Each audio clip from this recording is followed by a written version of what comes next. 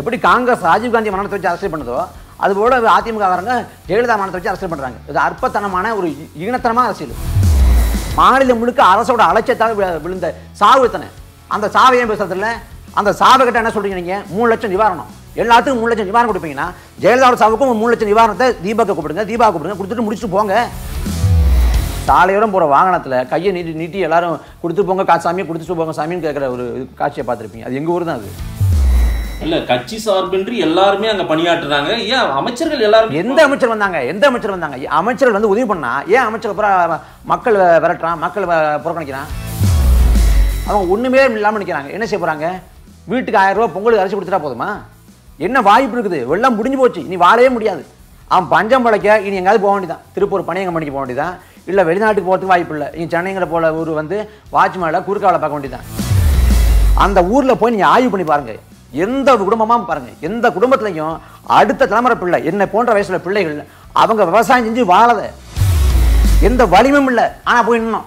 ஆனா எல்லா வலிமையும் இருக்குது. காசு இருக்குது பணம் இருக்குது அதிகார வலிமை இருக்குது. இருக்கிற அரசுல ஏன் கண்டுகொள்ளல? தொள்ளாயிரம் கோடி நிவாரணப் பொருட்கள் திமுக அண்ணா போனதை நீங்களும் செய்தியா பார்த்திருப்பீங்கல்ல? எங்க போச்சு? நீங்க வைகை ஆத்துல திறமைக்குள்ள போட்டீங்க. அப்பேற்பட்ட அமைச்சர்கள் கொண்ட குழு தான் இது.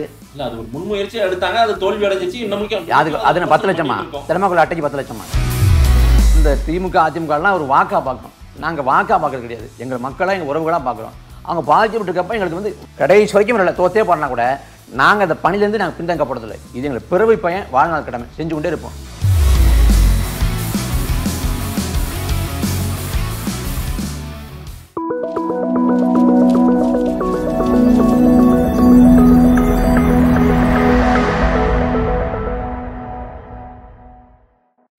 ஆதன் தமிழ் நேர்களுக்கு வணக்கம். கேள்வி சந்தை நிகழ்ச்சியின் வாயிலாக மீண்டும் உங்களை சந்திப்பதில் மிக்க மகிழ்ச்சி. அரசியலில் ஆகச்சிறந்த ஆளுமைகளை சந்தித்து நாம் நேர்காணல் எடுத்து வருகிறோம். அந்த வகையில் இன்றைக்கு நாம் பார்க்க இருப்பவர் நாம் தமிழர் கட்சியின் சீமானின் தம்பிகளில் முக்கியமான ஒரு தம்பி மாணவர் பாசறையினுடைய ஒருங்கிணைப்பாளர் திரு இடுமோனம் கார்த்திக் நம்முடைய இருக்கிறார். அவரிடம் கேட்பதற்கு நிறைய இருக்கின்றன. வாருங்கள் அவரிடமே கேட்போம். வணக்கம் திரு இடுமோனம் கார்த்திக். வணக்கம்.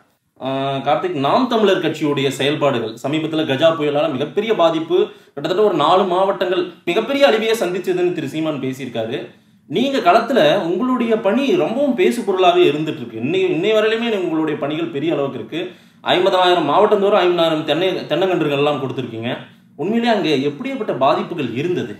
அதான் முதல்ல வந்து கஜா புயலில் வந்து நான் நாம் தமிழர் கட்சிங்கிறத தாண்டி அந்த பாதிக்கப்பட்ட ஊரில் பிறந்த மகனுங்கிற முறையில் சொல்கிறேன் அது வந்து ஏறக்குறைய முப்பது ஆண்டுலாம் காவிரியில் தண்ணி இல்லை. அதனால் காவிரி தண்ணி வராதனால எங்களுக்கு விவசாயம் போய்த்து போச்சு. ஆண்டுதோறும் நாங்கள் கஷ்டப்பட்டு தான் இருந்தோம். இப்போ இந்த சூழ்நிலையில் எங்களுக்கு கை கொடுத்து உதவி வந்தது தென்னை மரங்கள் தான். தென்னை மரங்கள் கொடுத்த அந்த வருமானத்தில் தான் நாங்கள் படித்தோம் சாப்பிட்டோம் வாழ்ந்தோம் எல்லாம் பண்ணோம். அந்த தென்னை மரங்கள் நீ கோடிக்கணக்காக விழுந்துருச்சு. அது வந்து பெருத்த அடி. வாழ்வாதாரம் காலியாகி வாழ்விடம் காலியாகி ஒரு அழிவின் விளிம்பில் தான் இருக்குது. அது ஒரு பேரழிவுங்கிறத விட முற்று முழுதாக அழிஞ்சு போச்சு. ஒன்றுமே இல்லை அப்படிங்கிற நிலமை தான். இந்த நிலையிலேருந்து மீண்டு வரதுக்கு ஒரு பத்து வருடத்துக்கு நாங்கள் பின்னாடி பின்னோக்கி போயிட்டோம். இந்த மீண்டு வரதுக்கு இன்னும் பத்து வருஷம் ஆகும்.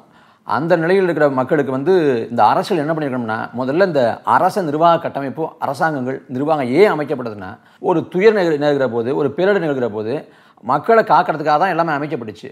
ஆனால் மக்கள் வந்து ரொம்ப கஷ்டப்பட்டு கொண்டிருக்கப்ப கூட இந்த அரசு கண்டுகொள்ளாதுன்னா இது எப்படி ஏற்றுக்கிறதுங்கிறது எனக்கு புரியலை. ஏன்னா இதில் வந்து சரியாக ஆய்வை க அந்த புயல் வரப்போது தாக்க போதும் கணிச்சு சொன்னவர் எங்கள் ஊர் சேர்ந்த செல்வகுமார்னு ஒரு ஒரு ஆசிரியர் தான் கணிச்சு சொன்னார் மற்றபடி அவன் கணிச்சு சொல்லலை எப்படி ஓகி புயலை பிரதீப் ஜான் சொன்னாரோ அதே போல் அவர் தான் சொன்னார். இல்ல முன்னெச்சரிக்கை நடவடிக்கை மிக சிறப்பா அரசு முன்னெச்சரிக்கை நடவடிக்கை இல்லை. முன்கூட்டியே தகவல் சொன்னாங்க. அவ்வளவுதான். முன்னெச்சரிக்கை நடவடிக்கை என்ன பண்ணாங்க?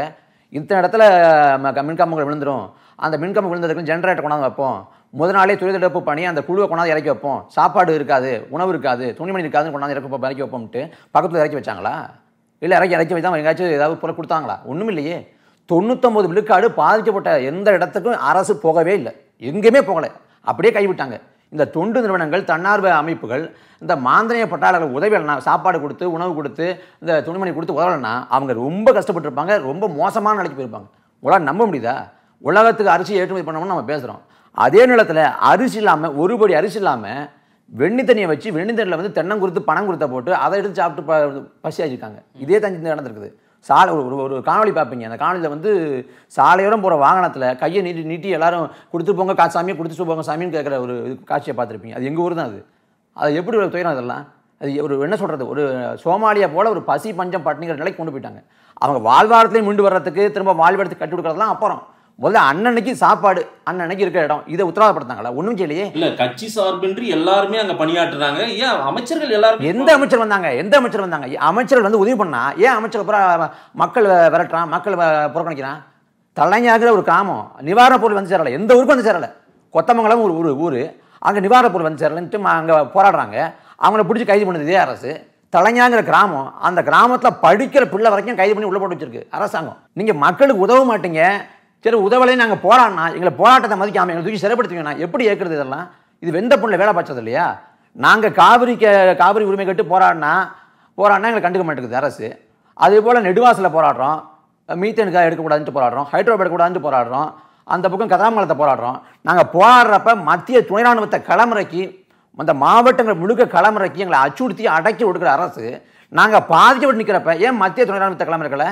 ராணுவத்தை இறக்கலாம்ல இறக்கி உடனே அப்புறப்படுத்தலாம்ல? மரங்களை அப்புறப்படுத்தலாம்ல? இல்ல மத்திய அரசு கேட்டிருந்தாரு. திரு. எடப்பாடி பழனிசாமி மத்திய துணை மத்திய துணை ராணுவத்தை எங்க இறக்குனாங்க இந்த இழப்புங்கிறது போய் முதல்வர் பார்த்துட்டு வந்தாரு. எங்க பார்த்தாங்க? எலியாபட்டில் பார்த்தாங்க. நிவாரணம் கேட்டு அங்க போய் மதிப்பீடு உண்மையான மதிப்பீடு பாஞ்சாயிரம் கோடி நம்ம சொல்றாரு. ஐயா எடப்பாடி பழனிசாமி இழப்புங்கிறது. அது பொய் அதை விட பன்மடங்கு அதிகம். அவங்க உண்மையான இழப்பை சொல்லவே இல்லை. உண்மையான இழப்பை பார்க்கவே இல்லை. இப்போ என்ன ஊடகங்களில் இது விவாத பொருளாக இருக்கிற வரைக்கும் தான் அரசியல் கண்டுகொள்ளும். இப்போ திருவாரூர் பக்கம் தான் எல்லாம் நகர்ந்துட்டாங்க. அப்படியே கண்டுகொள்ளாம விட்டுருச்சு.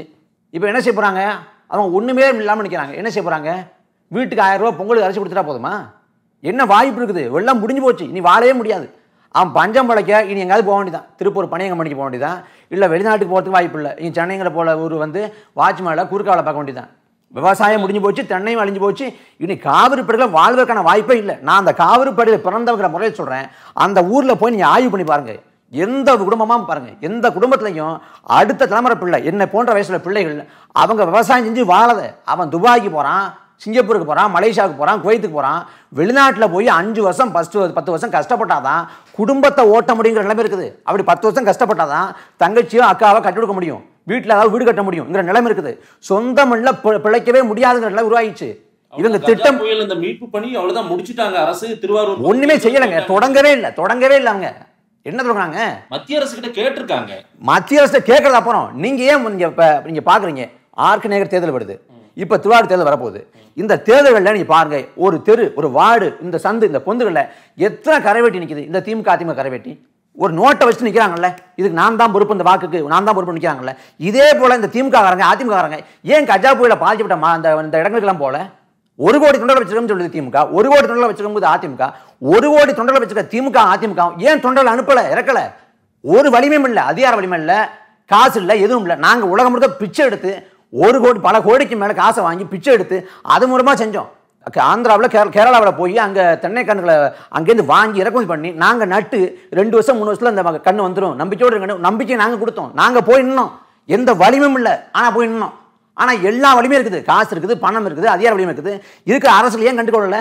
எதிர்கட்சியிலும் கண்டுகொள்ளல? ஆளுங்கட்சியும் கண்டுகொள்ளல. அவங்க கடத்தி விட்டாங்க. இது எவ்வளோ பெரிய கொடுமை இதெல்லாம். பல்லாயிரம் கோடி நிவாரணப் பொருட்கள் திமுக அண்ணா போனதை நீங்களும் செய்தியா பார்த்திருப்பீங்கல்ல? எங்கே போச்சு? வண்டிகள் வா அங்க இருந்து போ- வண்டிகள் போச்சுன்னு சொல்றீங்க. இங்க போய் நீங்க ஒரு ஒரு வேணா கள ஆய்வு பண்ணுங்களேன். தஞ்சாவூர் திருவாரூர் நாகப்பட்டினம் போய் பாருங்க. போய் கள ஆய்வு பண்ணுங்க. திமுக காரங்க கொடுத்த நிவாரண பணம் வந்துச்சான்னு கேளுங்க. அவங்க வந்துச்சு நாங்கள் ஏற்றுக்கிறோம் ஒன்றும் பிரச்சனை கிடையாது. நாங்கள் இதில் அரசியல் பண்ணுறதுக்கு ஒன்றுமே இல்லைங்க. அரசியல்லாம் அப்பாற்பட்டதெல்லாம் அரசியலே தேவையில்லை. இவன் ஓட்டு போடுறான் ஓடலை. இப்போ தீம்காரன் தான் இருக்காங்கன்னா திமுக குடும்பம் பாதிக்கப்பட்டிருக்குன்னா அவங்க இப்போ வீட்டுக்கு வந்து நம்ம அந்த பொருள் கொடுக்கூடாதுன்னு சொல்ல போகிறதில்ல நமக்கு வந்து மக்கள் பேரில் இருக்கான் இந்த நேரத்தில் வந்து காக்க வேண்டியது ஒரு மாந்திரி அடிப்படையில் ஒரு அடிப்படை கடமை. ஆனால் அரசுகள் செய்யவே இல்லை. முழுமையாக கைவிட்டுச்சு. ஒரு அமைச்சர் பேசாரே அந்த கஜா புயலில் பாதிக்கப்பட்டு எல்லாம் மனநோயாளிகளாக மாறிட்டாங்கன்னு. இது என்ன திமிர்த்தனமான பேச்சு? எந்த மக்கள் வாக்கு செலுத்தி உங்களுக்கு அதிகாரத்தை கொடுத்தானோ அவனை மனநோயாளி தான் இது என்ன மாதிரி மனநிலை இதெல்லாம்? இன்னொரு அமைச்சர் பேசுகிறார் திண்டுக்கல் சீனிவாசன். புயல்லாம் வரணுங்க புயல் வந்தால் தான் வந்து தண்ணீர் ப- தட்டுப்பாடுலாம் குறைய முடியாது. இப்போ வடதா புயல் வந்துச்சு ஓய் புயல் வந்துச்சு தானே புயல் வந்துச்சு இந்த புயலில் தண்ணீர் தட்டுப்பாடு குறைஞ்சிருக்கா? நீ தண்ணீர் தட்டுப்பாடை குறை அந்த அந்த தண்ணீர் தட்டுப்பாடை போக்குவரத்து நீங்கள் நீர் மேலாண்மை கொள்கையை கடைபிடிச்சு நீர்நிலையை பாதுகாத்து அந்த தண்ணியை சேமிக்கணும். நீங்கள் எங்கே சேமிச்சீங்க? நீங்கள் வைகை ஆற்றுல தெருமக்குள்ள போட்டீங்க. அப்பேற்பட்ட அமைச்சர்களை கொண்ட குழு தான் இது. இல்ல அது ஒரு முன்முயற்சியா எடுத்தாங்க அது தோல்வி அடைஞ்சிச்சு இன்னமும் அது என்ன பத்து லட்சமா? திறமைக்குள்ள அட்டைக்கு பத்து லட்சமா? எங்கே போய் சொல்கிறது எல்லாம்? அது வெளி நீங்கள் நான் என்ன சொல்கிறது நீங்கள் ஊழல் பண்ண பார்த்தீங்க ஏமாற்ற பார்த்தீங்க கொஞ்சம் விழிச்சுக்கிட்டான். சமூக வலைதளம் இருக்கிறதுனால விழிச்சுக்கிட்டான். விழிச்சுட்டானோ இல்லை இல்லை இல்லை ஒரு முயற்சி முன்முயற்சி ஒரு ஒரு செக் பண்ணி பார்த்தோம் அப்படின்னு மழுப்புறாரு அவ்வளோதானே வேற என்ன இருக்குது? நாம் தமிழர் கட்சி சீமான் உங்க அண்ணன் வந்து அதாவது அவருடைய பயணம் பெரிய அளவுக்கு அங்க இருந்தது கஜா புயல் பாதிக்கப்பட்ட கவுன்சிலிங் எல்லாம் கொடுத்த மாதிரி பேசின அவருடைய பேச்சுக்கள் இருந்தது. பாதிக்கப்பட்ட விவசாயி தோல் மேல் கை போட்டு அந்த அளவுக்கு ஆறுதல் கூறினார். இந்த செயல்பாடுகளை நிறைய சமூக வலைதளங்களை பாராட்டினாரு. ஓட்டு அரசியல் மாதிரி யாரும் தெரியல அது அது என்ன விஷயம்னா நாங்கள் வந்து அடிப்படையாக மக்கள்லேருந்து வந்தவங்க. அந்த கூட்டம் அந்த பாதிக்கப்பட்ட கூட்டத்தில் வந்த பிள்ளைகள் தான் நாங்களும் அந்த கூட்டம் சேர்ந்தவங்க தான் நாங்களும்.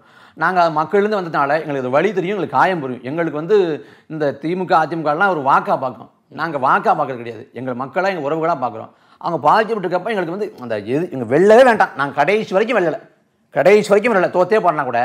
நாங்கள் அந்த பணிலேருந்து நாங்கள் பின்தங்கப்படுறதில்லை இது எங்களுக்கு பிறவை பையன் வாழ்நாள் கடமை. செஞ்சு கொண்டே இருப்போம். அப்போ எங்கள் மக்கள் கண்ணீர் நிற்கிறப்ப எங்களுக்கு பார்த்தா எங்களுக்கு கண்ணி வருது. எங்களுக்கு வலிக்குது. அந்த வலிங்காரமாக இப்போ நிற்கிறோம் அதில் வந்து மக்களுக்கு வந்து நிவாரணம் இந்த துயர் தொடுப்பு பொருட்கள் தர்றது அப்புறம். முதல்ல ஒரு உளவியல் மீட்சி ஒரு நம்பிக்கை தரணும். ஒன்றும் இல்லை ஒன்றும் இல்லை ஒன்றும் இல்லை. மீண்டும் வந்தாலும் நம்பிக்கை தரணும். அதுதான் முதன்மையாக படிச்சு. நாங்கள் நம்பிக்கை தர்றதுக்கு எல்லா இடங்களும் போய் பார்த்தோம். நாங்கள் முடிஞ்ச அளவு எல்லா இடமும் போய் பார்த்தோம். எங்கள் அண்ணன்மார்கள் எல்லா இடத்துலையும் முடிஞ்ச அளவுக்கு அவங்க பொருட்களை வாங்கி கொண்டு வாங்கி கொண்ட எந்த எதிர்பார்ப்பும் இல்லாமல் விளம்பர அரசியல் இல்லாமல் செஞ்சு கொடுத்தாங்க. மற்றபடி இது வந்து நம்ம கடமையாக நினைக்கிறோம். ஒரு தார்மீக கடமை. இதை மக்களுக்கு உதவ வேண்டியது. அதனால் கலத்தணும் மீண்டும் அம்மையார் ஜெயலலிதாவுடைய மரணம் சம்பந்தமா வந்து இப்போ மறுபடியும் பேச ஆரம்பிச்சிட்டாங்க. திருவாரூர் தேர்தல் வரப்போது இந்த சமயத்துல மறுபடியும் சர்ச்சை இருக்குன்னு சொல்றாங்க. அந்த பிரச்சனையை நீங்க எப்படி பாக்குறீங்க? மறுபடியும் மறுபடியும் தேர்தல் சமயத்திலேயே இந்த பிரச்சனையை மையப்பொருளாக கொண்டு வரதுக்கான காரணம் என்னன்னு. இந்த நூ இந்த இந்த ஆண்டோட முதல் நகைச்சுவை நான் அதை பார்க்குறேன் இது முதல் நகைச்சுவை தான் இப்போ நாளைக்கு நான் உட்காந்து கோட்சேவோட கோட்சே வந்து காந்திய குரலை இன்னும் பாட்ஷா தான் பா காந்தியை கொண்டாருன்னு ஒரு ஒரு சொன்னேன்னா எவ்வளோ பெரிய நகைச்சுவையாக இருக்குமோ? அது போல நகைச்சுவை தான் அது. எப்போ பேசுறீங்க இதை? ஜெயலலிதா செத்து போய் எவ்வளோ நாள் ஆகுது? ரெண்டு வருஷமாக ஆகி போச்சு. இப்போ என்ன திடீர்னு ஞானோதயம் வருது? ஐயா சிவி சண்முகத்துக்கு ஏதோ போதி மரத்தில் உட்காந்து ஒரு ஞானோதயம் பெற்று இன்னைக்கு திடீர்னு சொல்றாரு. இல்லை இல்லை ராதாகிருஷ்ணன் அந்த சுகாதாரத்துறை பொறுப்பாளர் ராதாகிருஷ்ணன் இருக்கார் பாருங்க. அவர் தான் குற்றவாளி. அவர் தான் வெளிநாட்டுக்கு போகாமல் இது பண்ணிட்டாருன்னு. நான் கேட்குறேன் இந்த ராதாகிருஷ்ணன் ஒருத்தர் இருக்கார்ல அதிகாரி. அந்த அதிகாரிக்கு தன்னாட்சி அதிகாரமா? இல்லை ஒரு அமைச்சருக்கு கீழே நான் அதிகாரமா? அவர் தன்னாட்சி அதிகாரம் தன்னாட்சி அதிகாரம் இல்லையே. ஒரு அமைச்சர்கள் தான் எங்க வருவார் எந்த அமைச்சர்? அந்த அமைச்சர் தானே பேச சொன்னீங்க துறை அமைச்சர். அப்போ யார் விஜயபாஸ்கர் தானே? உங்களுக்குள்ள இந்த அமைச்சர்களுக்குள்ள தான் உள்குத்து. ஜெயலலிதா இருந்தப்போ ஒரு இடத்துல அதிகாரம் இருந்துச்சு. இப்போ எல்லா அமைச்சர்களுக்குமே தள்ள மேலே கொம்பு முடிச்சிருச்சு ஆள் ஆளுக்கு ஒன்று பேசிக்கிட்டு எனக்கு இவங்க மக்கள் பிரச்சனை தீர்க்க வரவே இல்லை. இவங்க சொந்த பிரச்சனையை தான் பேசுறது. இப்போ ஜெயலலிதா மரணம் ஜெயலலிதா மரணம் அம்மா கொண்டுட்டாங்க அம்மா கொண்டுட்டாங்க உங்கள் அம்மாக்கா பேசுகிறீங்கல்ல இதே அரசுகளால் இந்த அரசின் அலட்சியத்தால் இந்த ரெண்டு ஆண்டு காலத்தில் எத்தனை மக்கள் இறந்து போயிருக்கான்? ஓசி புயல் ஆயிரக்கணக்கான இறந்து பேர் இறந்து இறந்து போனான்ல? விவசாயி இறந்து கொண்டிருக்கான்ல? இப்போ கஜா புயல் அறுநூறு பேர் செத்து போனான்ல? கடந்த ஆண்டு அறநூறு விவசாயி செத்து போனான்ல? ரெண்டு அரசோட அலட்சியத்தால் மின்கம்பத்தில் பழுது ஏற்பட்டு ரெண்டு குழந்தைங்க இறந்து போச்சுல்ல? அங்கே நாகப்பட்டினத்தில் இந்த பழைய கட்டடம் இடிஞ்சு விழுந்து அந்த தொழிலாளர் இறந்து போனாங்களா அரசு பிறந்து தொழிலாளர் இறந்து போனாங்கல்ல இப்படி மாநிலம் முழுக்க அரசோட அலட்சியத்தால் விழுந்த சாவு எத்தனை? அந்த சாவை ஏன் பேசுறதில்ல அந்த சாவை கிட்ட என்ன சொல்கிறீங்க நீங்கள் மூணு லட்சம் நிவாரணம். எல்லாத்துக்கும் மூணு லட்சம் நிவாரணம் கொடுப்பீங்கன்னா ஜெயலலிதாவோட சாவுக்கும் மூணு லட்சம் நிவாரணத்தை தீபாக்க கூப்பிடுங்க தீபா கூப்பிடுங்க கொடுத்துட்டு முடிச்சுட்டு போங்க. இதுக்கு மட்டும் ஏன் விசாரணை கமிஷன்? விவசாயி சாவுக்கு போட்டீங்களா? விவசாய விசாரணை கமிஷனை? விவசாயி செத்து கொண்டே இருக்கான ஏன் சாகுறான்? நான் ஒரே கையில் ஊடகங்களை பார்த்து. நீங்கள் நாட்டில் கோடிக்கணக்கான தொழில் இருக்குது. எல்லா தொழிலும் இருக்குது. எல்லா தொழிலையுமே அந்த அந்த துறையில் எப்பயாச்சும் தான் நம்ம பொருளை வாங்குவோம். ஆனால் விவசாயங்கிறது நம்ம மூணு வேளை சார்ந்திருக்கோம். ஒரு மனுஷன் மூணு வேளை சாப்பிட்றான். இந்த நாட்டில் நூற்றி கோடி மக்கள் தொகை மூணு வேளை சாப்பிட்றான். அப்படி அத்தியாவசிய தொழில் தான் விவசாயம். அந்த தொழில் நஷ்டப்படுப்பதற்கு காரணம் என்ன? ஏன் நஷ்டப்பட்டு போகிறான் கடந்த இருபது ஆண்டு காலத்தில் மூணு லட்சம் விவசாயி விவசாயத்தை விட்டு போயிட்டான். இருபது வருஷம் நாற்பது வருஷம் அந்த தொழில் வந்து நஷ்டமாகிக்கொண்டே இருக்குது. நஷ்டத்திற்கு தொழிலாக மாறி போச்சு ஏன் மாறிச்சு? என்ன காரணம்? விவசாயி போராடுறான். குறைந்தபட்ச ஆதரவு கேட்டு போராடுறான். விவசாய கடனை தள்ளுபடி செய்ய சொல்லி போராடுறான். ஏன் போராடுறான்? அதை ஆய்வு பண்ணி அதுக்கு ஒரு தீர்வை ஏன் முன்வைக்கலைங்க நீங்கள் விவசாய கடன் தள்ளுபடி செய்யணும்னு சொல்கிறீங்க தள்ளுபடி பண்ணுங்க. மகிழ்ச்சி. ஆனால் இந்த ஆண்டு தள்ளுபடி பண்ணிவிட்டு திரும்ப அவன் கடன் வாங்க மாட்டாங்கிறதுக்கு என்ன உத்தரவாதம்? ஒரு விஜய் மல்லையான ஒரு வந்து ஒரு ஒரு முதலாளி வந்து எட்டாயிரம் கோடி ஊழல் பண்ணிட்டு போகிறான் நீரவ் மோடி ஊழல் பண்ணிட்டு போகிறாரு லலித் மோடி ஊழல் பண்ணிட்டு போகிறாரு கண்டுக்க மாட்டேங்குது. நான் கல்வி கடன் வாங்கினேன்னா நான் முதல் தலைமுறை பட்டதாரி. என் குடும்பத்திலே என் தலைமுறையிலே முத முதல் படிக்க வரவன் நான் தான். நான் படிக்க காசு இல்லை. காரணம் விவசாயம் செஞ்சு ஏழ்மையில் நிலையில் இருக்கேன். அப்போ நான் படிக்க போனால் கடன் வாங்கிட்டேன்னா அந்த கடனை கட்ட சொல்லி வங்கி அழுத்தம் கொடுக்குது. வீட்டுக்கு கூலி கூலிப்படைய போல் ஆட்களை ஏவி எங்களை மிரட்டுது அச்சுறுத்துது. ஆனால் இந்த நீங்கள் வந்து இந்த தனிப்பட முதலாளியை கண்டு கொண்டிருக்குதா விவசாய கடனை பேசுகிற நாடு விவசாய கடன் தள்ளுபடி போனால் அந்த நாட்டில் வந்து பொருளாதார சிறுவஞ்சனம் பேசுகிற பொருளாதார ஆலோசகர்கள்லாம் ஏன் வாழை கடனை பற்றி பேசுறதில்ல மூணு லட்சம் கோடி நாலு லட்சம் கோடி வாழை கடன் தள்ளுபடி பண்ணுறாங்களே அது யார் வீட்டு காசு இது? யார் அப்பா வீட்டு காசு? யார் மக்களின் விற்பனை இல்லையாது மக்களின் உழைப்பு இல்லையா? அப்ப விவசாயிகள் சாவுக்கு நீங்க பின்தொடர்ந்து வராங்க. நிச்சயமா அவங்க எல்லாம் எங்க இருக்காங்களோ அவங்க எல்லாம் கொண்டு வரதுக்கான முயற்சிகள் ஆமா நீ விஜய் மல்லையாவுக்கு பின்தொடர்றாங்க விஜய் மல்லையாவுக்கு இங்க இருந்துகிட்டு நீங்க உங்களை ஒரு வேளை ஜெயிலில் போட்டா உங்க நீங்க இருக்க போற ஜெயில் இப்படி தான் இருக்கும். இந்த வசதிகளை கொண்டு கொண்டு அவர் போட்டோ அனுப்புறாங்க. அவர் செலக்ட் பண்றாரு. இந்த இந்த ஜெயில் வேண்டாம் வேற ஜெயில் கொண்டாங்க அப்படின்னு. இதெல்லாம் கால கொடுமை. அதெல்லாம் கே கேவலம் அதெல்லாம் நீங்க நாட்டுல ஆயிரம் சாவு இருக்கு. மக்கள் பிரச்சனை தீருங்க.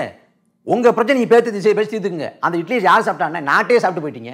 ஒரு கோடி நாங்கள் இட்லி சாப்பிடல. சசிகலா குடும்பம் தான் சாப்பிட்டுச்சு. யார் சாப்பிட்டா எங்களுக்கு என்ன நீங்கள் நாட்டே சாப்பிட்டீங்க. மணலை சாப்பிட்டீங்க நீரை சாப்பிட்டீங்க மக்கள் வாழ்வாரத்தை சாப்பிட்டீங்க மக்கள் கஷ்டப்பட்டு கொண்டு இருக்காங்க நீங்கள் மக்கள் பிரச்சனையை பேசுங்க. உங்கள் பிரச்சனையை அப்புறம் பேசி தீர்த்துக்குங்க. இல்ல அது மக்களின் முதல்வர் அப்படின்னு சொல்லி அவங்க பணியாற்றி சரி கேட்குறேன் சரி கேட்குறேன் இந்த தர்மயுத்தம்னு தொடங்கினாங்களே எப்போ தொடங்கினாங்க ஜெயலலிதாவோட மரணத்துக்கு நீதி கட்டு. ஓபிஎஸ் ஐயா ஓபிஎஸ் அவர்களை எப்போ பதவி விட்டு நீக்குறாங்களோ அதுக்கு பிறகு தான் துருபிச்சுட்டா எடுக்கிறார் அது மரணத்தை. அவர் பதவி விட்டு எடுக்கலன்னா அவர் முதலமைச்சராக இருந்திருந்தான்னா ஒருபோதும் பேசியிருக்க மாட்டார். இந்த தர்மயுத்தம் நடைபெற்ற அதே காலத்தில் யாரை எதிர்த்து நடைபெற்றுச்சு தினகரனை எதிர்த்து தர்மயுத்தம். அந்த தினகரனை எதிர்த்து தர்மயுத்தம் நடைபெற்ற காலத்தை தினகரனும் ஓபிஎஸும் ஒன்று சேர்ந்து பேசினாங்கன்னு சொல்கிறாங்க அது ஓபிஎஸ் மறுக்கலை. ஆமாம் பேசணுங்கிறாரு தர்மயுத்தம் நடத்துறதே அவங்களுக்கு எதிரா? அவங்களை சந்திச்சு பேச வேண்டிய தேவை என்ன? அவள் உள்நோக்கம் என்ன? உங்களுக்கு அரசியல். மக்கள் பிரச்சனை பேசாமல் நீங்கள் ஒரு பிரச்சனை வச்சுக்கிட்டு தர்மயுத்தம் தர்மயுத்தம் அது கர்மயுத்தம். அதை பேசுறது அவமானம். நீங்கள் ஜெயலலிதா சா- சாவ பேசுவீங்கன்னா பொறுப்பேற்க வேண்டிய முதன்மை ஆட்கள் தான் நீங்கள் தான் இந்த ஆட்சியாளர்கள் தான் அந்த அமைச்சர்கள் தான் அதை விட்டுட்டு திரும்ப திரும்ப ஜெயலலிதா மரணத்தை கொண்டா வச்சுக்கிட்டு அது ஒரு இழிவான கேவலமான அரசியல். எப்படி காங்கிரஸ் ராஜீவ்காந்தி மரணத்தை வச்சு அரசியல் பண்ணுதோ அதுபோல அதிமுககாரங்க ஜெயலலிதா மரணத்தை வச்சு அரசியல் பண்ணுறாங்க இது அற்பத்தனமான ஒரு ஈனத்தனமான அரசியல். சபரிமலை பிரச்சனையை நீங்க எப்படி பாக்குறீங்க? அங்க வந்து நீதிமன்றம் ஒரு தீர்ப்பு கொடுத்திருக்கு. பெண்கள் எல்லாருமே உள்ள போகலாம் அப்படின்னு சொல்லிட்டு. ஆனா அங்க பினராயி விஜயன் அரசு அங்க போராடிட்டு இருக்கு. எப்படியாவது கொண்டு போய் அவங்கள வந்து அந்த தீர்ப்பை வந்து நடைமுறைப்படுத்திடணும்னு. ஆனா அங்க பிரதானமா போராடுறவங்களே பாஜக ஆர்எஸ்எஸ்ன்ற குற்றச்சாட்டை திரு பினராயி விஜயன் எச்சரிக்கை கொடுக்குறாரு. அந்த அளவுக்கு இருக்கு. நாம் தமிழர் கட்சி இதை எப்படி பாக்குறீங்க இல்லை அது வந்து முதல்ல வந்து அடிப்படையானது வந்து ஆண் பெண் சமத்துவத்தை வந்து நாம் தமிழர் கட்சி வலியுறுத்துது. ஆணும் பெண்ணும் சமங்கிறதுல எந்த மாற்றுகளும் சொல்ல முடியாது. இன்னும் சொல்லப்போனால் ஆண்களை விட இந்த பெண்கள் தான் அதிகப்படியாக சமூகத்தில் பங்காற்றுறாங்க. அவங்க தான் கஷ்டப்படுறாங்க. பிறப்புலேருந்து இறப்பு வரைக்குமே. அப்போ ஆணும் பெண்ணும் சமங்கிறப்ப எல்லாமே எல்லாரும் சட்டத்தை முன்னே எல்லாரும் சமங்கிறப்ப அவங்க போக அனுமதிக்க வேண்டியது தார்மீக கடமை. அது இவ்வளோ நாட்கள் கழிச்சு இப்போ தான் கிடச்சிருக்குது. அதை போக அனுமதிக்கணும். ஆனால் அனுமதிக்காமல் இதை வச்சு ஒரு அரசியல் பண்ணலாம்னு பிஜேபி ஒரு மலிவான அரசியல் பண்ணி கொண்டிருக்கு. இப்போ இந்த இடத்துல வந்து பெண்கள் அனுமதிக்கக்கூடாதுன்னு சொல்கிற ஆர்எஸ்எஸ் பாஜக அதே இடத்துல முத்தலாக் விவாதத்தை எடுத்து முஸ்லீம்களுக்கு முஸ்லீம் பெண்களுக்கு இஸ்லாமிய பெண்களுக்கு அநீதி வைக்கப்படுது அதை ஏற்றுக்க முடியாதுன்னு முத்தலாக்கை கொண்டு வருது. எது கொண்டு வருது? முத்தலாக் அந்த விஷயத்தை நீங்கள் பார்த்தீங்கன்னா அந்த முத்தலாக்கில் அந்த குலான்னு ஒரு முறை இருக்குது. பெண்களுக்கு தான் அதிகப்படியான முக்கியத்துவமே கொடுக்குது அந்த மதம். அந்த சரியத்தை அந்த சட்டங்களே பெண்களுக்கு தான் அதிக முக்கியத்துவம் தருது. அதை உணராமல் இவங்க அரசியல் பேசுகிறத முத்தாக வாரத்தை கிளப்பி விட்டுட்டு பெருசாக பேசி நாங்கள் பெண்களுக்கு இஸ்லாமிய பெண்களுக்கு நாங்கள் இது பண்ண போகிறோம்ங்கிறாங்க ஆனால் குஜராத்தில் இஸ்லாமிய பெண்கள் சாகிறப்ப குஜராத் இஸ்லாமிய படுகொலை நடந்தப்ப முதலமைச்சர் இருந்தவர் ஐயா மோடி தான் அன்னைக்கு. அப்போ அதை பேசுகிறவர் இன்னைக்கு வந்து இதில் சபரிமலை விவகாரத்தில் அரசியல் பண்ணுறது ரொம்ப கேவலமாக இருக்குது. இல்ல ஆகம விதிப்படி அந்த கோயிலுக்குள்ள பெண்கள் போனா புனிதம் கெட்டுரும். புனிதம் என்ன என்ன புனிதம் கட்டுற போது சரி இவர் ஹெச் ராஜா அவர் வந்து என்ன சொல்றது? நல்ல வேண்டாம் அவர் எதுவும் பேசக்கூடாது நம்ம. அது சொன்னால் தப்பாயிடும். அவர் பே அவர் நெக்ஸ்ட் ஸ்டேட்னு ஒரு சொல்கிறாருன்னா அவர் நல்லவராக தான் இருப்பார். இந்த மாட்டு கருத்து உங்களுக்கு இல்லை. ஏன்னா நீங்கள் வந்து இங்கே காஞ்சிபுரத்தில் தேவநாதன் ஒருத்தர் கோயிலுக்குள்ள வச்சு ஒரு பெண்ணை வந்து பிணந்தார். அதை வந்து பாஜக பார்த்துச்சு ஆர்எஸ்எஸ் பார்த்துச்சு என்ன பண்ணாங்க? எங்கள் காஷ்மீரில் ஆசிப்பான ஒரு பெண் குழந்தை ஒரு குழந்தை. அந்த குழந்தை இருந்து ஏ- ஏழு வயசு குழந்தை. உள்ள அதை வச்சு ஒரு பத்துக்கும் மேற்பட்டவங்க சேர்ந்து கற்பழித்து வன்புணர்ச்சி செஞ்சு கொன்று கை காலை உடைச்சி கொலை செஞ்சு போட்டாங்க. கோயில்களை வச்சு தான் அப்போ புனிதம் கிடையாதையா அந்த எவன் கொலை செஞ்சானோ எவன் வன்முறை செஞ்சானோ அவனை விடுதலை பண்ண சொல்லிட்டு தேசிய கொடி இந்தி தேசிய கொடி ஏந்தி போராட்டம் பண்ணது பிஜேபி ஆர்எஸ்எஸ். இப்போ இவங்க வந்து புனிதத்தை பற்றி பேசலாமா? அங்கே ஆசிபா மரணத்துக்கு ச கெடாத புனிதம் வந்து சபரிமலையில் கட்டுற போதா? ஐய பெண்கள் எப்போ நுனி எப்போ உள்ள நுழைஞ்சு எப்போ வெளிப்பட தொடங்கினாங்களோ அந்த நொடியில் தான் ஐயப்பனே புனிதம் அடைஞ்சான் பெண்கள் நுழைஞ்சப்போ தான் ஐயப்பன் புனிதம் அடைஞ்சான் ஐயப்பன் புனிமடைஞ்சான் காலகாலமா பின்பற்ற பின்பற்றிட்டு ஒரு நடைமுறை தானே திரு கார்த்திகன்? காலங்காலமாக பின்பற்றப்படுங்கிறதுனாலே ஒரு தவறான ஒன்றும் சரியாயிடாது. காலங்காலமாக என்ன பண்ணுறது காலங்காலமாக அடிமையாக இருந்தோம். ஆனால் படிக்க கூட ம- க- படிக்கக்கூடாதுன்னு சொன்னாங்க. ஆனால் சாதிய குடும்பங்கள் இதை விட மூர்க்கமாக இருந்துச்சு. இந்த இதை விட போகக்கூடாது இருந்துச்சு. நம்ம எதிர்த்து போராடலையா? அப்போ காலங்காலமாக இருக்குங்கிறது தான் எதுக்க முடியாது. அதுக்கு என்ன பண்ணுறது இந்த பிரச்சனையை அங்க உண்டு பண்றதே பாஜக இந்த வழக்கை தொடுத்ததும் ஆர்எஸ்எஸ் பாஜக தான். இன்றைக்கு அதை வச்சு அரசியல் பண்ணுறதும் பாஜக தான். அவங்க என்ன நினைக்கிறாங்க? இந்த தமிழகத்திலையும் கேரளாவிலையும் பாஜக நுழைய முடியல. அப்போ கேரளாவில் வந்து இந்த சர்வ விவகாரத்தை கையில் எடுத்து எப்படியாவது நுழைஞ்சலாமான்னு பார்க்குது. ஆனால் மலையாளிகள் எப்பவும் தெளிவாக இருக்காங்க? அவங்க அடிச்சு விரட்டுவாங்க. நேற்று கலவரத்தில் கூட பார்த்தோம் அடிச்சு விரட்டினது. அதனால் வாய்ப்பு இல்லை. தாமரை மலர்றதுக்கெல்லாம் வாய்ப்பு இல்லை. திருவாரூர் தொகுதி இடைத்தேர்தலுக்கு எல்லாருக்கும் முன்னாடி முந்திக்கிட்டு திரு சாகுல் அமித் உங்களுடைய வேட்பாளரை இது பண்ணிட்டீங்க. இவ்வளோ பிரச்சனை இருக்குது அந்த தேர்தலுக்கு நீங்கள் இவ்வளோ வேகமாக முன்னெடுத்து ஒரு வேட்பாளரை நிறுத்த வேண்டிய அவசியம் ஏன் வருது? ரொம்ப வேகமாக முன்னெடுத்து ஒரு வேட்பாளர் நிறுத்த வேண்டிய காரணம் ஏன் என்ன காரணம்? இல்லை மற்ற கட்சிகள் வந்து காசை பார்த்து சாதி பார்த்து வேட்பாளர் எடுத்தது. எங்களுக்கு மக்களுக்கானவர் யாருன்னு தெரியுது? எங்கள் ஐயா தமிழ் மக்களுக்கும் சாகுல மீது. அவர் வந்து நேற்று இன்னைக்கு இல்லை முப்பது நான்லாம் பிறப்புக்கு முன்னிலேருந்து அரசியல் இருக்காரு. முப்பது ஆண்டுகளுக்கு மேலாக தமிழ் தேசிய காலத்தில் இருந்து அதுக்காக பொருளாதார இழப்புகளை சந்திச்சு சிறை சென்று பல்வேறு இன்னல்களை பட்டு அதுக்காக அயரும் பாடாட்டி கொண்டிருக்காரு. அவர் ரெண்டாயிரத்தி ரெண்டில் வந்து த தடா சட்டத்தின்களை கிட்டத்தட்ட பதினெட்டு மாதம் சிறையில் இருந்திருக்காரு. அதனால் அவருக்கு வந்து இந்த வாழ்க்கைக்கு இந்த இந்த போராட்ட வாழ்க்கை வரலான்னா அவரோட வாழ்க்கை எவ்வளோ பெரிய பெரிய கொடி சொன்னால் இருந்திருக்கலாம் அவர். அதெல்லாம் விட்டுட்டு இன்னைக்கு வரைக்கும் ஆயிராவது எங்களோட இருக்காரு அப்படின்னா அது இந்த இனத்தின் மீது மக்கள் மீது கொண்ட பட்டு தான் அவர் வேட்பாளராக திருவாரூர் தொகுதியில் நிற்கிறதுங்கிறது எங்களுக்கு ரொம்ப பெருமை ரொம்ப பெருமை தருது மகிழ்ச்சி தெரியுது அவரை சிற போன்ற சிறந்த வேட்பாளர் மற்ற எந்த கட்சியிலும் நிறுத்த முடியாதுங்கிறத நாங்கள் அறுதிட்டு சொல்லுவோம். அதனால் அதை அவரை அவருக்கு வாக்கு செலுத்தி அவரை வெற்றி பெற வைக்க வேண்டியது அந்த மண்ணின் மக்களின் கடமை. அதனால் நாங்கள் எடுத்திருக்கோம். இந்த வெற்றி வாய்ப்பு உங்களுக்கு எப்படி ஏன்னா திமுக தலைவர் முன்னாள் முதலமைச்சர் கலைஞர் கருணாநிதியுடைய தொகுதி அது. திராவிட கட்சிகளுடைய கோட்டையா தான் இருந்துட்டு இருக்குது. நீங்க அங்க வெற்றி வாய்ப்பு எப்படி நாம் தமிழர் இல்லை நாங்கள் வெற்றி தொழிலை பற்றி கவலை கவலைப்பட வேண்டியது மக்கள் தான். நாங்கள் வெற்றி தொழிலை பார்த்து நாங்கள் வேலையை செய்யலை. எதுலையுமே வெற்றி தொழிலை பார்க்கல. வெற்றி தொழிலை பற்றி கவலைப்பட வேண்டியது மக்கள் தான். நாங்கள் வந்து ஒரு மாற்றம் வைக்கிறோம் நீங்கள் கேட்குறீங்க அரசியல்லாம் சா அரசியல் இருக்கவங்க கூட சாக்கடை அரசியல் வந்து புனிதமானது இல்லை கேவலமாக இருக்குன்னு பேசுகிறீங்க நாங்கள் இல்லை நாங்கள் மக்களுக்காக மண்ணு மக்கள் மண்ணுக்கும் மக்களுக்கும் உழைக்கிறதுக்கு ஒரு தூய்மையான வேட்பாளர் எடுத்துகிறோம் அப்படின்னு ஒரு வாய்ப்பை வைக்கிறோம். மக்கள் புணர்ந்து கொண்டு மக்கள் பிடிச்சிக்கிட்டு அவரை பயன்படுத்திக்கிட்டு அவரை வாக்கு செலுத்தி அவர் வெற்றி பெற வச்சு தனக்கான ஆளாக மாற்ற வேண்டியது மக்களோட கடமை தான். அப்போ வெற்றி தொழிலை பற்றி பேச வேண்டியது எங்கள் கடமை இல்லை. நாங்கள் வந்து ஒரு மாற்றை திறந்து வைக்கிறோம் மாற்றுக்கு தொடங்கி தொடங்கி வைக்கிறோம். அதற்கான வாய்ப்பு தான் அது. திரு- திரு சீமான் அவர்கள் பல இடங்கள்ல பேசும்போது சொல்றாரு நீங்க ஓட்டு போடுங்க போடாம போங்க. அதை பத்தி எனக்கு இல்லை. பேச வேண்டியது நான் பேசிட்டு போறேன் அப்படின்றது. இது ஓட்டு அரசியலுக்கு என்ன ஒரு ஒரு வெற்றின்னு ஒரு ஒரு அதிகாரத்துக்கு வந்தா தானே நீங்க என்ன நினைக்கிறீங்களோ அதை செய்ய முடியும். அதான் நாங்கள் அதை எல்லாத்தையும் இந்த நான் அண்ணன் பேசுகிற எப்போ சொல்லுவாங்க சொல்லுவாங்கன்னா அண்ணன் சொல்லுவாங்கன்னா கடைசி பேசி முடிக்க போகிறப்ப சொல்லுவாங்க. ஒரு மணி நேரத்தில் ஒன்றரை ஒன்றரை மணி நேரத்தில் வந்து நாங்கள் மக்கள் பிரச்சனைகளை பேசுகிறோம் அதுக்கு தீர்வு வைக்கிறோம். பேசி இதை தேவையை வலியுறுத்துறோம். இதெல்லாம் சொல்லிட்டு சொல்ல சொன்ன பிறகும் கேட்ட பிறகும் நீங்கள் வாக்கு செலுத்தலைன்னா அது உங்கள் விருப்பம் சொல்கிறோம் அவ்வளோதான் மற்றபடி உங்கள் வாக்கு வேண்டாம்னு ஏன் சொல்கிறோம் வா வேண்டாம்னு நாங்கள் சொல்ல வரல. நாங்கள் சொல்கிறோம் விலகு சொல்கிறோம் இதே மீறி நீங்கள் வாக்கு செலுத்த மாட்டீங்க. நீங்கள் திராவிட கட்சியில் தான் வாக்கு செலுத்துவீங்கன்னா அதுக்கு மேலே உங்கள் விருப்பம். ஏன்னா இழப்பு எங்களுக்கு இல்லை. நாங்கள் நாங்கள் இங்கே வாக்கு செலுத்தாமல் போனால் கூட அந்த வேலை செஞ்சு கொடுத்துருப்போம்.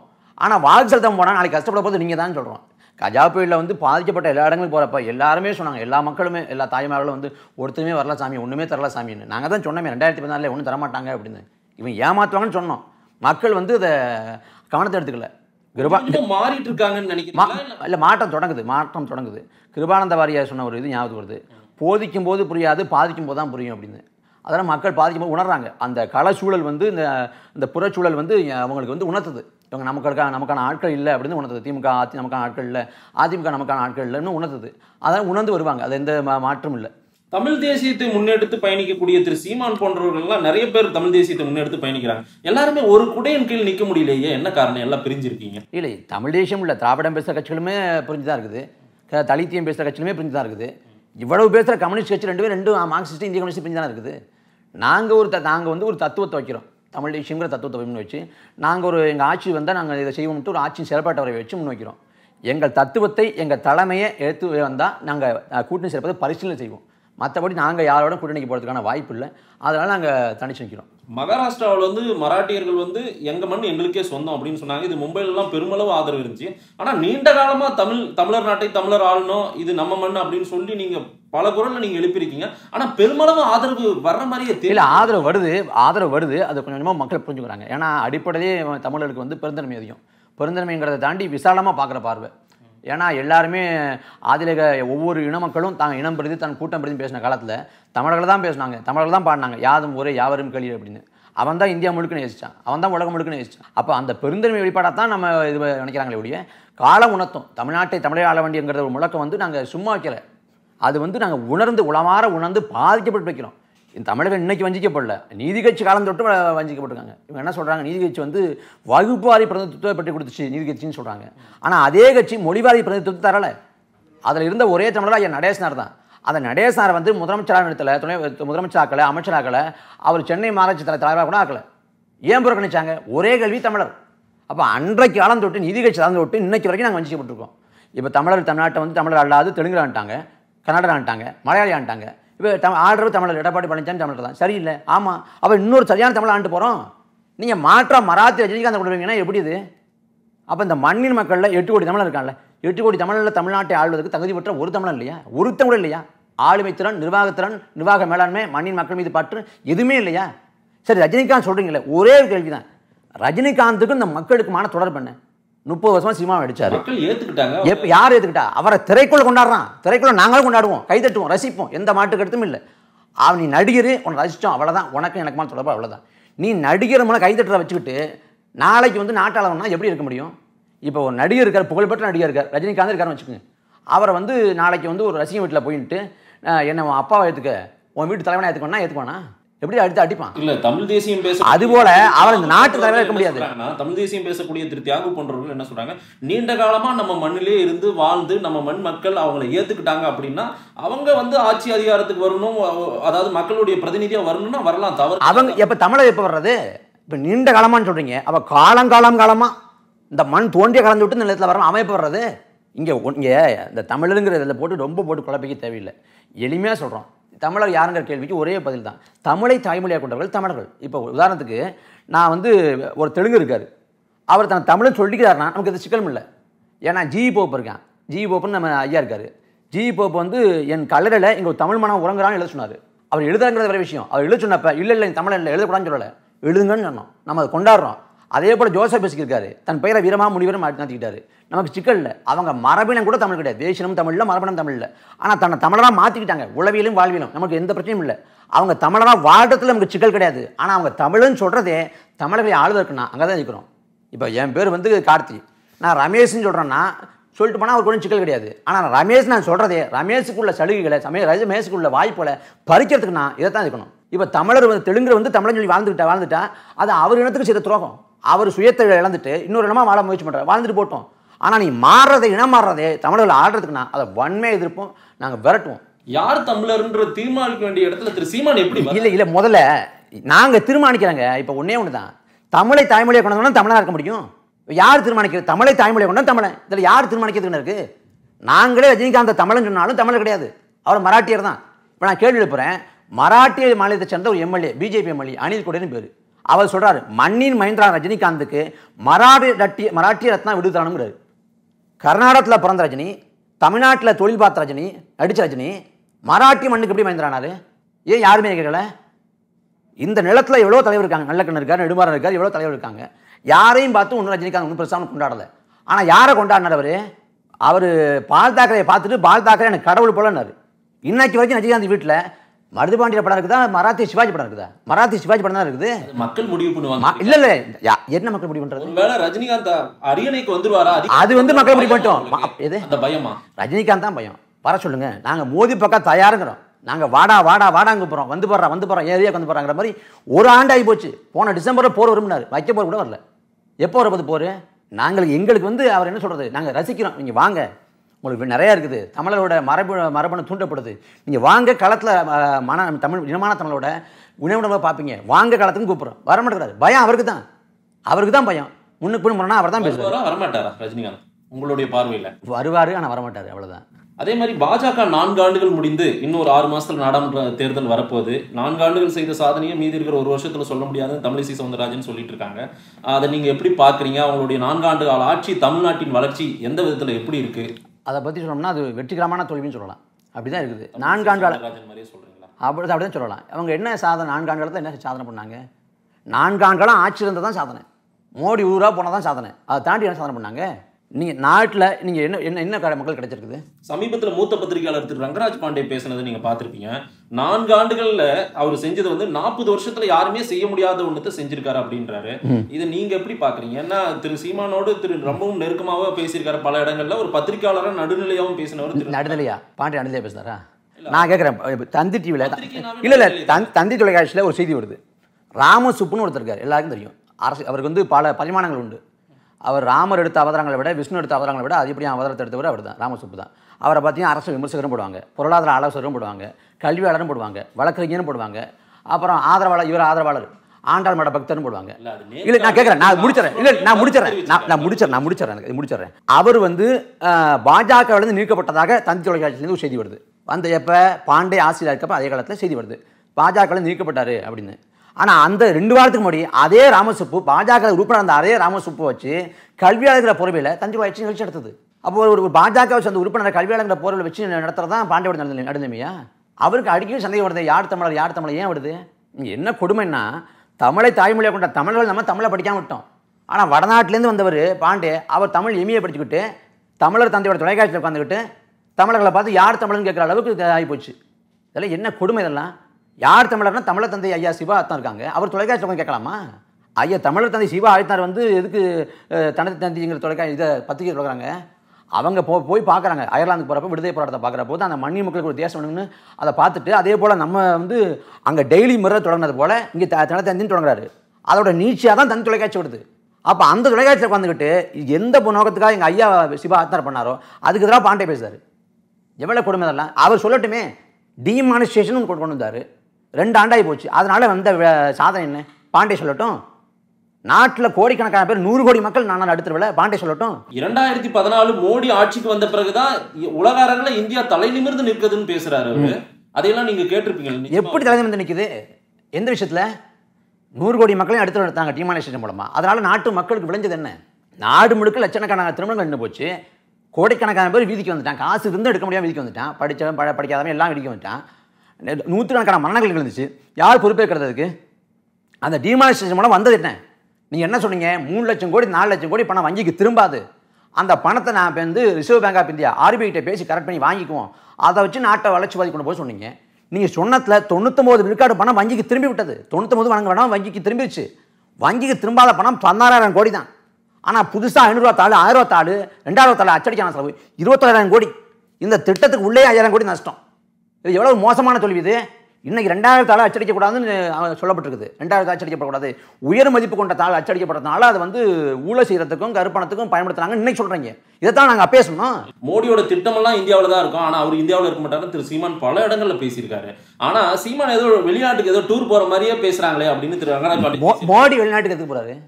உலக நாடுகள்ல நம்முடைய என்ன பண்றாரு? நிமிர்ந்து நிக்கிறது அப்படின்னு வெளிநாட்டுக்கு போய் வெளி- வெளிநாட்டுக்கு போய் கொள்ளாம சாப்பிடாம இந்த நாட்டின் வளர்ச்சியை கொண்டு மோடி தூங்காம சாப்பிடாம கஷ்டப்பட்டு இருக்காரு அவர் அப்படி பேசியிருக்காரு நீங்க அவர் அவர் கொடுக்க அசிமண்டா இருக்கலாம் எழுதி கொடுத்துருப்பாங்க பேசுவார் அவருக்கு. பாண்டேவுக்கு. பாண்டேவுக்கு மோடி அசைன்மெண்ட் கொடுத்தாரு? மோடியில் யார் கொடுப்பாங்கன்னு தெரியும் உங்களுக்கு? பாண்டே யார் கொடுத்துருப்பா? யார் முன்னாடி பேசுவாங்கன்னு தெரியும். யாரோட ஆளுன்னு உங்களுக்கு தெரியும். அதை பார்க்குறவங்களுக்கு தெரியும். பத்திரிகையாளர் இல்ல பத்திரிக்கையாளர் போகிறவங்களே நிறைய பேர் இருக்காங்க. அதுக்கு என்ன பண்ணுறது அது சொல்கிறதுக்கு ஒன்றும் இல்லை அதை விட்டுருங்க. நம்ம அதை பேசுறதுக்கு இல்லை.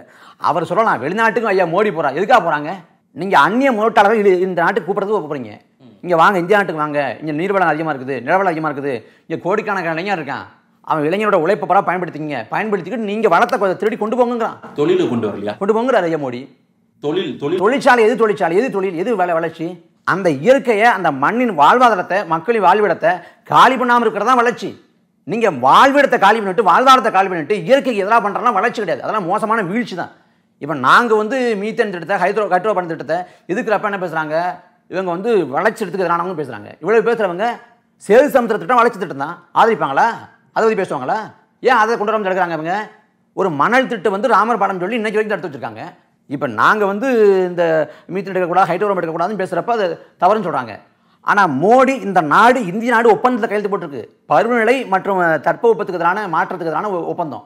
அந்த ஒப்பந்தத்தின்படி புதைப்படிமை எரிபொருட்கள் எடுக்கவே கூடாது. பூமி கீழே இருக்கிற பொருட்கள் எடுக்கக்கூடாது அதுக்கு மாற்றான நீங்கள் அந்த காற்றாலை மின்சாரம் தான் போகணும். அதே ஐயா பாரிஸில் பேசுகிற ஐயா மோடி அவர்கள் இயற்கையை பாதுகாக்கிற பாரம்பரியத்தில் வந்த நாடு இந்தியா இயற்கையை சீரழிக்க ஒருபோதும் அனுமதிக்க முடியாது மோடி பேசுறாரு. ஆனால் பாரிஸில் மோடி பேசினார்னா அவர் தேசப்பற்றாளர் இதே இந்த வீதிகளில் நாங்கள் பேசினோம்னா தேசத்துறையா என்ன கொடுமை இதெல்லாம் பாண்டே பேசட்டும். பாண்டே எப்படி பா மா பாண்டேவுக்கு மோடியோட பாசிட்டிவ் மட்டும் தெரியுது? நெகட்டிவே தெரியல. கௌரி லங்கேஷ்னு ஒரு பத்திரிகையாளர் தான் குலைச்சப்பட்டாங்க ஒரு ஊடகவியலாளர் தான் குலைச்சப்பட்டாங்க ஏன் பேசல பாண்டே இதை பற்றி அச்சுறுத்த போகிறாங்களா இல்லையா? அமீர்கானோட ம அமீர்கானோட மனைவி சொன்னதா சொல்லி அமீர்கான் சொல்கிறார் என்ன சொல்கிறாருன்னா எனக்கு இந்த நாட்டில் வந்து பாதுகாப்பை உணரலை. பாதுகாப்பின்மையை உணர்றேன் அப்படின்னு சொல்கிறேன் சொன்னவொன்னே அப்ப அமீர் கானை நீ போ அமெரிக்காவுக்கு போ நீ ஆஸ்திரேலியாவுக்கு போங்கிற போய் பாகிஸ்தானுக்கு போன்ட்டாரு. தேசப்பட்டாளர்கள் பாகிஸ்தானுக்கு போங்கிறாங்க. ஆனால் நாட்டின் பிரதமர் நாட்டின் தலைவராக இருக்கிற பிரதமர் மோடி கருப்பு பண முதலைகளால் என் உயிருக்கு ஆபத்து இருக்குங்கிறார் அப்போ இவரும் பாதுகாப்பின்மை உணர்றாருல? அப்போ ஏன் கண்டிக்கல? மோடி வெளிநாட்டுக்கு போகணும்னு சொல்லலை?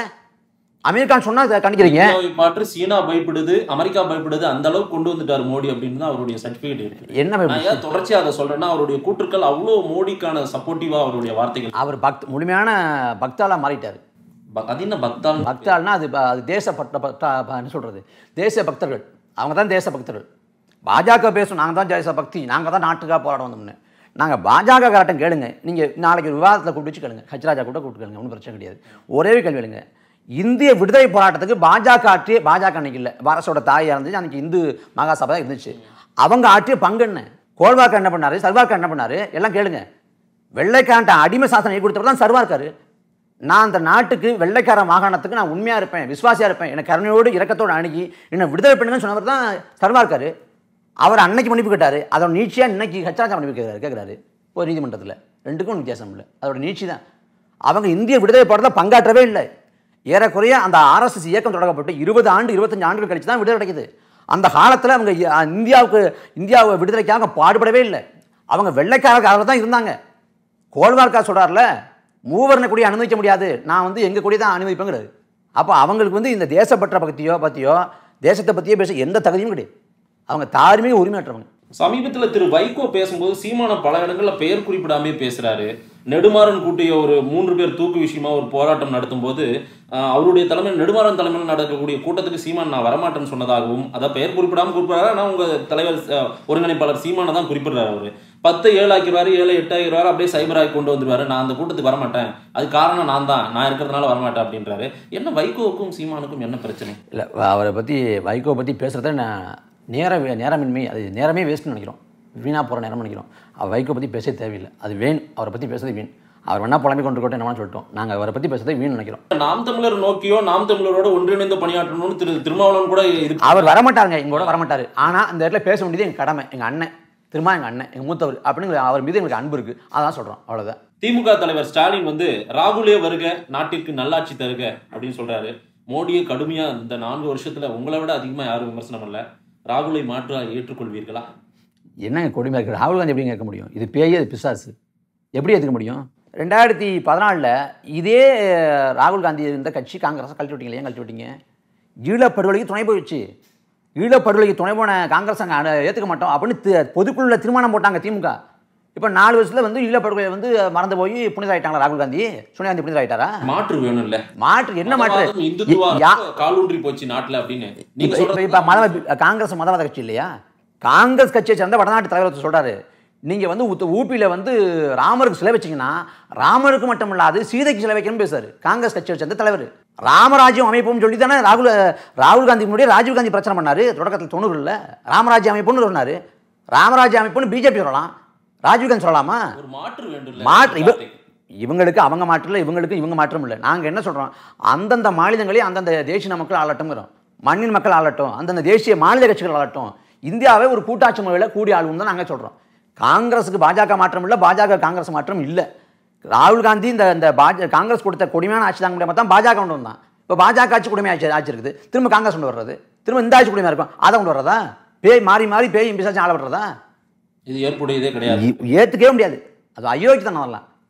காங்கிரஸும் இருக்க முடியாது பிஜேபியும் இருக்க முடியாது. திமுக அது சந்திரபவாதத்தோட சந்திரபவாதத்தின் மொத்த வடிவம் தான் திமுக.